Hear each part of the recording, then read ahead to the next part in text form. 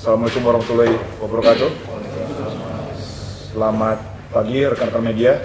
Terima kasih rekan-rekan media sudah hadir di kantor PPI untuk preskon pagi hari ini.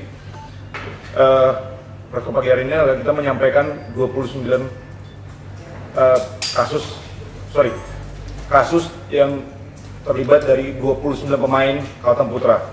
Dan kita menyampaikan yang sudah pernah kita sampaikan di tanggal 27 Januari lalu, sejak tanggal 27 Januari lalu telah banyak update dan, dan perkembangan yang terjadi dan yang kami rasa sangat penting untuk kami sampaikan di sini. Detail perkembangannya akan disampaikan langsung kepada para pemain Kalteng Putra nanti. Namun sebelum itu saya sampaikan apresiasi yang setinggi-tingginya selaku sebagai Presiden APPI mewakili seluruh exco APPI juga para profesional kepada para pemain Kalteng yang dilakukan merupakan satu tindakan berani untuk meminta haknya.